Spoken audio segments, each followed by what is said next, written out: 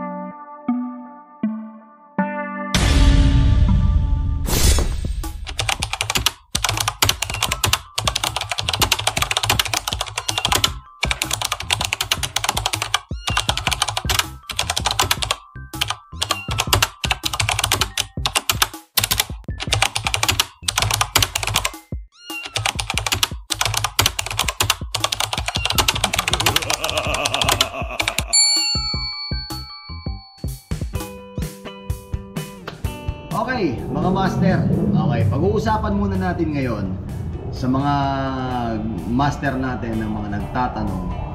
Master, ano nga daw ba ang pinagkaiba ng fast rolling at hindi fast rolling? Ang fast rolling, yung mga gulong na hindi malalaki ang spike. Okay, o mga knobs. Okay? Yung mga hindi fast rolling naman, yun yung tinatawag na malalaki ang spikes or malalaki ang knobs na gaya nitong nakikita nyo. Okay?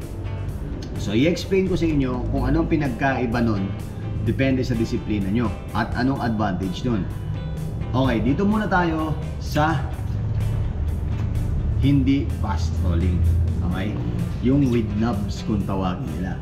Karaniwan, mga master, ang gumagamit na may mga knobs na ganito ay yung mga DH, mga jumper, yung mga ah, enduro bikes, mountain biker, mga downhill. Yan, yan ang mga karaniwang gumagamit ng mga may knobs.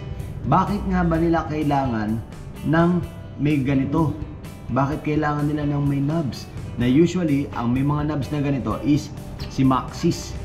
Okay? Si Maxis ang may karaniwang may gawa ng mga knobs na ganito. At siya ang nangunguna pagdating sa mga mountain bike ah, tires na ginagamit sa DH or enduro bikes. Okay?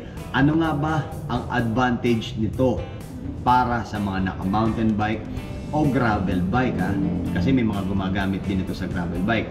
Sa mountain bike, ang advantage nila nito kapag ka nag, ah, ano sila, nagtitrail sila, kahit ako, nasubukan ko yung mga ganitong ah, ganitong goma, napakakapit nito sa mga bato-batuhan. Kasi yung mga knobs nito, ito yung kakapit mismo sa bato. Right? Kung sa mga putik, hindi siya pagsisiksikan ng putik kasi malalaki ang knobs niya. So hindi ka kagad mag slip off kung sakasakali man na may putik at kung may halimbawang mababato.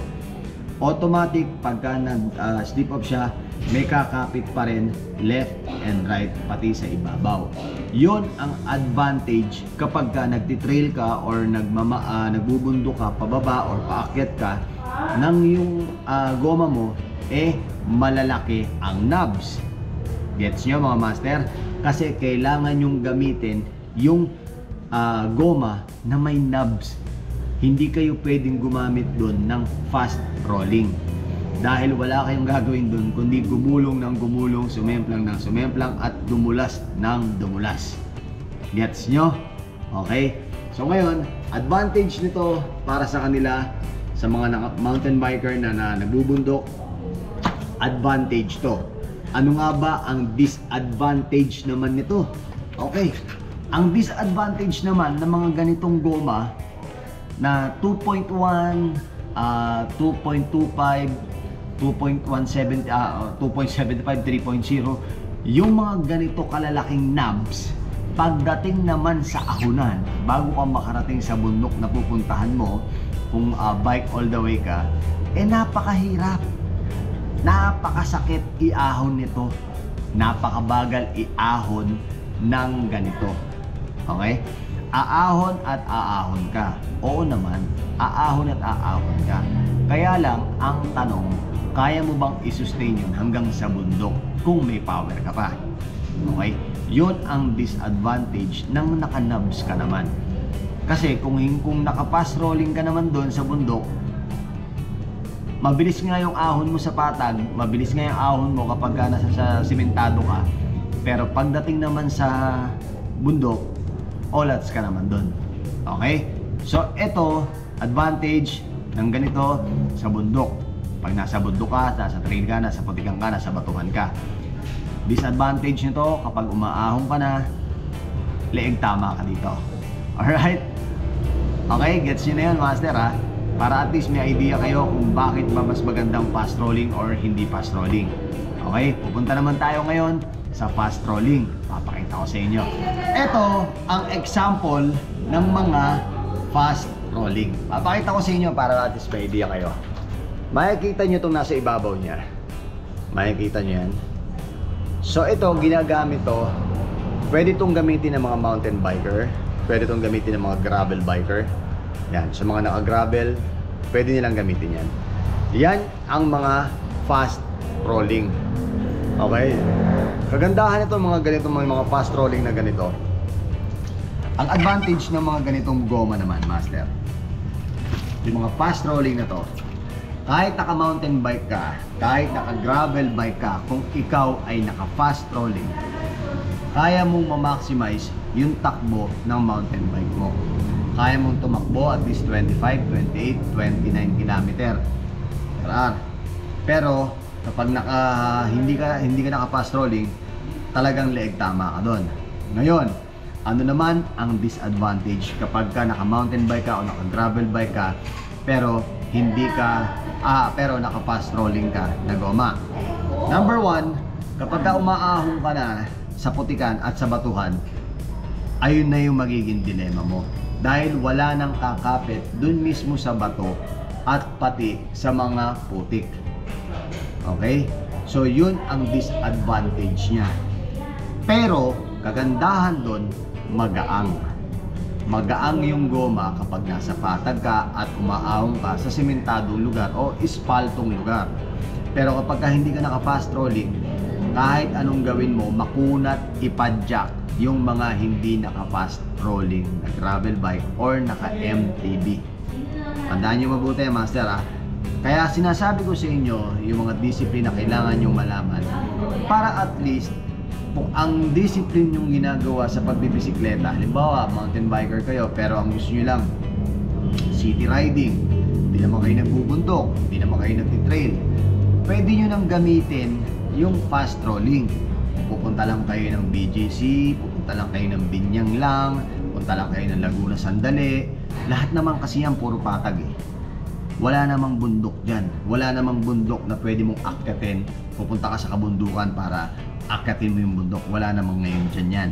Okay, kung city riding, mga ganyan-ganyan lang yung mga ride nyo, tumatarget lang kayo ng, ng kilometers, pwede na kayong gumamit ng fast rolling.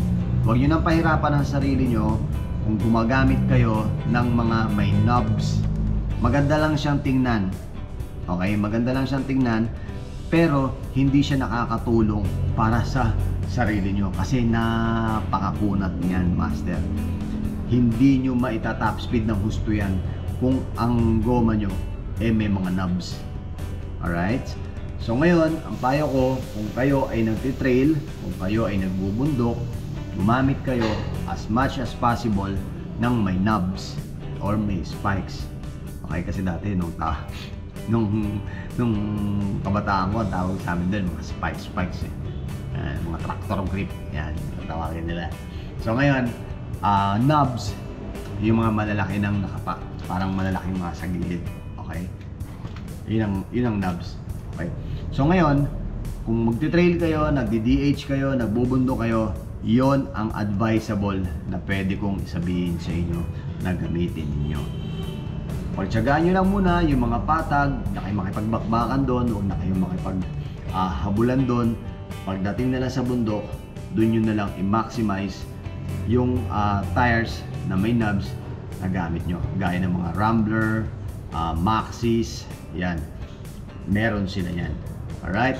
Pagdating naman sa kapatagan, pagdating naman sa mga city riding lang, nagbabike lang kayo with your friends, magpalit na lang kayo ng goma. Mura lang naman yung mga na, ah, mga fast rolling na goma ngayon. So ngayon, palitan nyo yun para mas ma-enjoy nyo at mas ah, ma-enhance nyo pa yung pagbibisikleta nyo. Kung medyo natatabaan kayo, pwede kayong kumuha ng mas manipis. At least mga 1.95 para sa MTB na napakagaang. Okay? Lalo pa kung ang, ang kukunin yung fast rolling eh folding. Ibig sabihin, yung natutupi. Okay? Yung natutupi. Wala akong sample dito. Ito, ito yung natutupi. Yan. Yan yung natutupi. 'Di ba? Folding. Ito kasi, itong mga ganitong goma, ah, hindi to folding. Ito yung wired pa kung tawagin. So, ibig sabihin, kung wired pa to, meron pa siyang ah, weight kahit papano. Unlike yung mga ganito, tong icon na to, ito 29, 2.20, 3,800. Okay? Pair na yan. Okay? Pair na yan. 3.8 icon, 2.20. Okay, yung mga ganyan, ito namang Ardent, mas masakit din yung Ardent. Okay? Ito yung Recon Race, 2.25, masakit din yan. Okay? Yung mga ganyan, kahit pasabihin mo na folding yan, dahil malalaki ang knobs niyan, medyo masakit yan, master. Masakit i-ako niyan. Maniwala ka sa akin. Okay? Pero kapag ka nasa city ka, mas maganda mag ah, kahit mag-wired ka pero naka-fast rolling ka. The best na 'yon. The best na 'yon. Maniwala ka na sa maniwala ka sa akin. Kukuha ka ng goma na gusto mong ano lang, ah, pang ride ride lang. Pinaka the best. Gumamit ka ng fast rolling na at least 1.95. Manipis lang siya pero mabilis siyang ipang-ikot. 29er, 27.5 o 26. Alam ko, meron niyang mga sukat na yan. Alright? Kung gusto niyo ng goma, napakaraming goma dito. Mamimili ka ng goma dito kung anong gusto niyong goma. Ah, kaliwat kanan, likod, ang goma dito, iba't ibang klase. Yan, may Goodyear, may Terraville, marami. Yan. So, meron pa rin dito, may Billy Goat, may Pana Racer, Maxis Rambler. Yan, maraming goma rito. So kung ano yung kailangan mo, Master, pumunta ka lang dito sa Roosevelt Bicycle Center. Sigurado makikater nila kung anong gusto mong goma at kung anong kailangan mong sukat ng goma na kailangan mo sa bisikleta mo. Alright? Okay, at dahil mahal ko kayo, syempre, magre ah, magpapakita tayo ng mga goma. Baka may kailangan kayong goma, Master. 700C, pang MTB, pang gravel bike at pang road bike. Magpapakita tayo ng mga goma dahil yon ang gusto nyong makita sa episode na ito. Di ba mga master? Handa ba kayo? Let's go! Heto na, master. Ayan. Andito tayo ngayon sa 700C. Okay. Tapos meron din si Gravel Pana Racer na 700 by 50C. At ang presyo niya ay walang nakalagay. Basta meron tayo dito ang 700 by 50C. Kaganda ito, ito 570 grams. Okay? 570 ta- average niya. Tapos ito naman si 735C ah 380. Meron tayong 35C, meron tayong 50C. Ba, astig to ah, 50C. Lapad niyan. Okay, tapos meron din tayong 700. Ito black naman to, yung walling niya. Tapos ito naman is wall. Right? Meron din dito si Pana Racer 43C. Ang presyo nito is 3,400. 43C. Ayan. Yan ang mga karaniwang ginagamit pang touring, pang gravel bike. Ito naman, meron din dito isa pa, 3,400. 43C ito, all black. All black. Okay. Tapos si Maxis naman na ah, 700C by 40C Revager. Okay, Revager. Pair natin ito is 4,200. Okay? Si Revager. Tapos si Refuse naman, ayan si Refuse. Ito, ginagamit naman to pang gravel bike, si Refuse. Ito, 4,300. Actually, maganda to. Ito yung ginamit ni ano, Carlo Carion. Maganda yan. 4,300. Okay. Revager, 40 by ano, 38. Ito, 38 pair. 40C. Ba't magkaiba ang presyo nito, Revager na to? Ah, siguro ah, ah, magkaiba nga to. Oh. Ito, silk. Ito, TR. Ito, X. EX tong isa. Ito, TR. Ah, okay. Ah, tama ba? Silk Shield. Tapos ito, hindi. Hindi nga. Tama ito, Silk Shield. Kaya mas mura. Okay. So, 3.8. Itong si Rambler naman. ah 40C. 700 by 40C. 3.8 naman siya. Pair na rin yon. Okay, pair. 3.8. Ito. Ayan. 3.8 pair. Si Rambler. Velocita. 3.8. Baka naghahanap, may naghahanap sa inyo. Okay. Si Vittoria naman. Ito naman. Pang mga road bike naman to. 3.2 na to. Okay. 700 by 28C. Ito naman. Meron din dito. 700 by 25C. Okay. Ang presyo nito is 3,000. Itong 25C is 3,400. Magkaibang ano niya. Ito si Corsa.